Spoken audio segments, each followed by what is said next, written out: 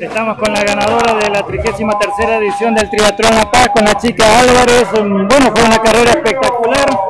eh, poquita, pero terminó siendo muy espectacular la carrera. ¿Cómo te sentiste y cuándo viste que podías ganar? Eh, no, la verdad, una, una, carrera muy particular porque de entrada largamos 5, pero el nivel era bastante parejo. Eh, en la segunda vuelta de bici se cortó bastante el grupo con la, italiana en la punta, en el agua, pero en bici en la segunda vuelta veníamos perdiendo y después de la segunda vuelta empezamos a, trabajar excelente con Brenda y, y Pipi Rivero y empezamos a descontar y, bueno nada, cuando nos bajamos a correr nos dimos cuenta que junto con el aliento, toda la gente me alentaba, nos damos cuenta que podíamos acortar bastante en pata y bueno, en la tercera vuelta eh, me di cuenta que ya la tenía ahí, así que nada, se dio